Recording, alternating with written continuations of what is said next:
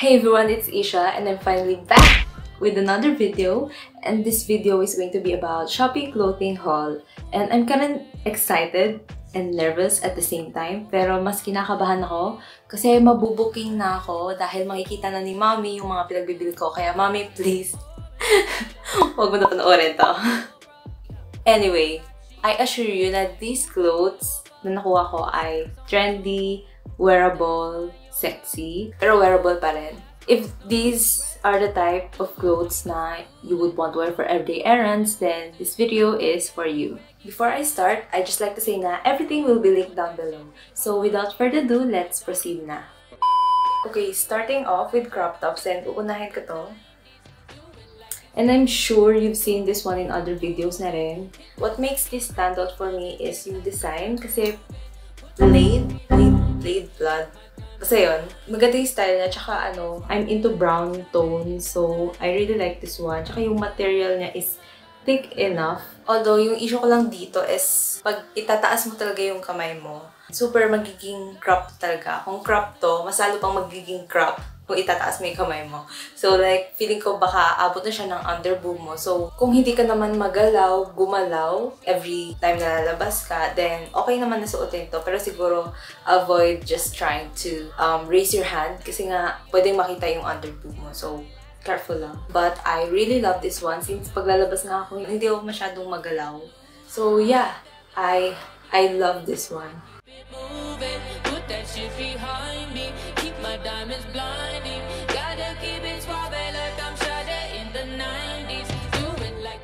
Moving on with this one. And I really like this one talaga. Kasi maganda yung style niya sa likod. Di ko alam if nakikita sa camera, but um, backless kasi yung style niya. Tsaka may tali siya. Yung tali niya super haba, but you don't have to worry about it. Yung purpose niya talaga is like, ipapaikot mo sa bewang mo, and then sa likod naman, dun mo siya itatali. Material-wise, makapal, maganda. Pero parang feeling ko yung type ng tela na gamit dito is madaling maaliko, maal, maalikabukan. Okay, yun. Mabilis siyang uh, dapuan ng alikabok and the likes. Pero I think madali naman siyang tanggalin din with scotch tape. Pero um, makapal yung tela niya. Hopefully, masuot ko to pag everything is normal na. Whatever that is.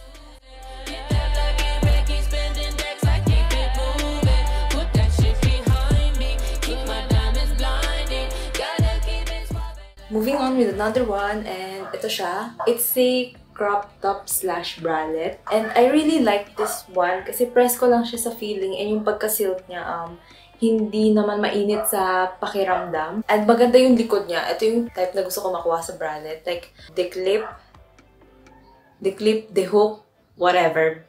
Basta ganun. Tapos tatlong column ng hook. So, pwede mo siyang ma-adjust based sa kano or like gaano siya mag-fit sa preference mo. Maganda din tong panloob if like meron kang cardigan or like jacket. And yeah, so that's all for this one.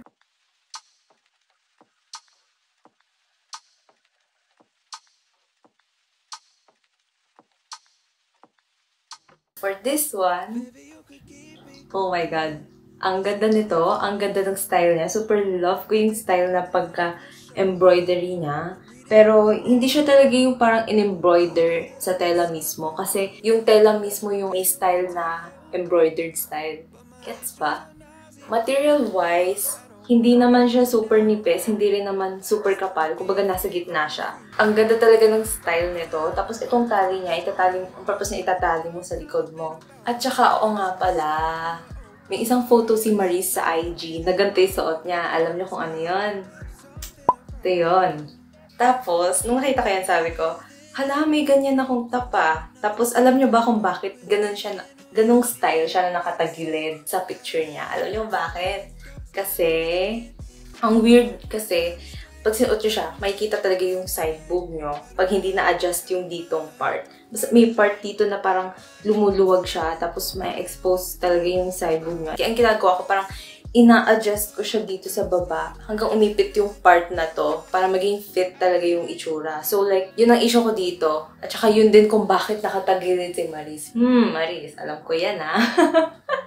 uh, feeling ko, madadaan naman to sa adjustment, sa tahi, sa konting tahi lang. Di, dito or kung saan nyo balaki adjust para mag-fit talaga sa inyo. Pero siguro by the time na na-adjust ko na to, super bet ko na talaga siya. That's all for this one. I love this, pero yun nga lang issue ko. Kailangan ko pang i-adjust para talaga mas maganda yung fit sa body ko.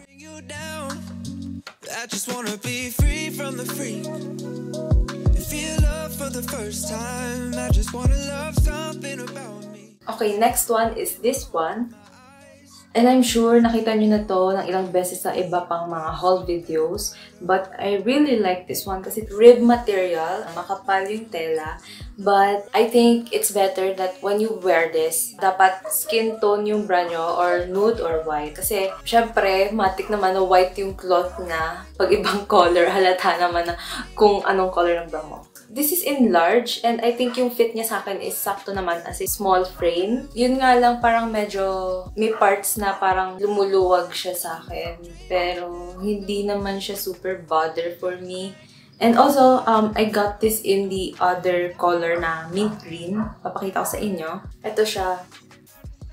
To be honest, mas gusto ko siya, mas gusto ko itong color kaysa white kasi super basic ng white. And ito, at least may buhay naman. Same din naman yung material nila. Tapos, same with uh, with the white color na dapat nude skin tone or white yung uh, color ng bra nyo kasi makikita pa rin siya dito. In terms of size, ito naman ay medium sa akin and ito yung sakto talaga na sa fit ko. Kaya ito rin yung gusto ko. Comparing it with the white one, since large siya, may parts na maluwag siya sa braso ko pag sinuot. Pero as long as I stretch it naman, hanggang sa kamay ko, okay naman. Pero yun nga, um, makikita mo na may parts na maluwag pag nasuot ko na siya sa braso ko.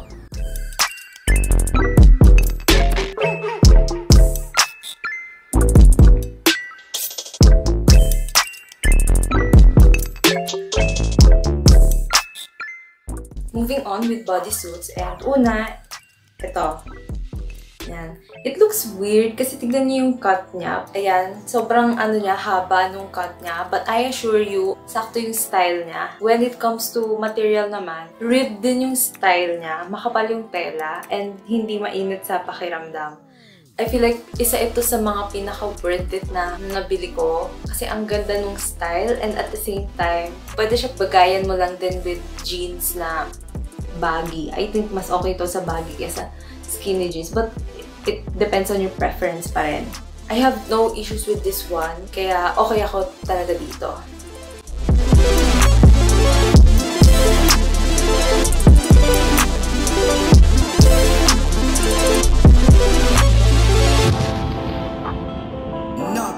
Okay, so moving on with this another bodysuit.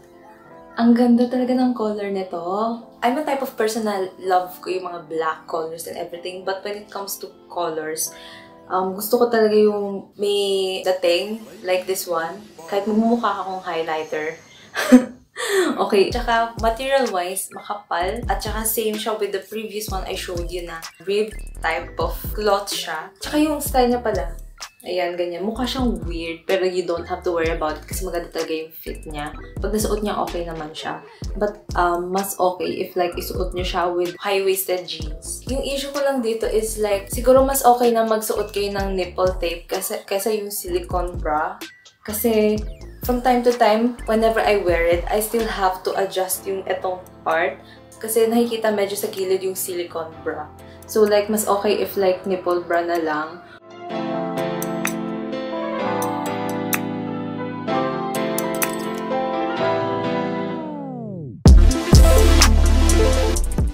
So for next one, ito naman. Okay, I hate to break it to you, but this is actually a swimsuit. But yeah, for me, this is a bodysuit slash swimsuit. Material-wise, ang ganda kasi yung, yung type ng material niya is on swimming. So, makapal yung tela niya. And then, pag sinuot mo siya as bodysuit and partner mo with a jeans, ang ganda talaga. And ano, kasi maganda yung cut niya, pagka V-cut niya, and then maganda rin sa likod yung pagka-backless niya. So like, if if you're one of those nagpatapang and susuotin to sa mall, pero gagawin mo na lang na paraan sa bathroom, syempre, then go. You do you, girl. At saka, and, and, And... And siguro, magagawa ko yun kapag tinamaan ako ng katapangan sooner. Overall, I love this one. And gagamitin ko talaga siya as bodysuit.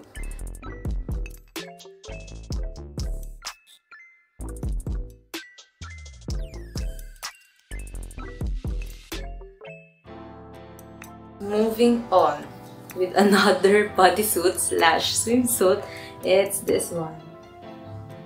Feeling ko ito yung type na nakikita nyo na rin na ano, ma-side boob. Kasi yung the way na pagkakat sa gilid or like pagka-style sa gilid, it's meant to like flaunt your side boob. I think okay talaga to, maganda, if you want to look sexy. So, maganda rin yung pagka-backless niya. And I suggest, whenever you wear this, or any bodysuit, um, wear it with a high-waisted jeans talaga. Material-wise, same material with the previous one na pinakita ko sa inyo.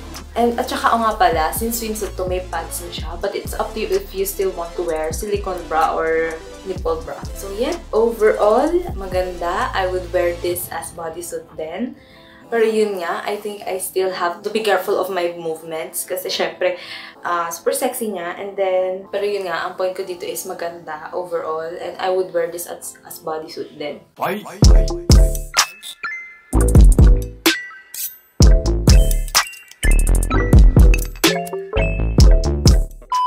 So, that concludes my Shopee clothing try on haul video and I hope you really like this whole video. Thank you so much for watching. Thank you so much for your time. I'll see you in my next one. Au revoir.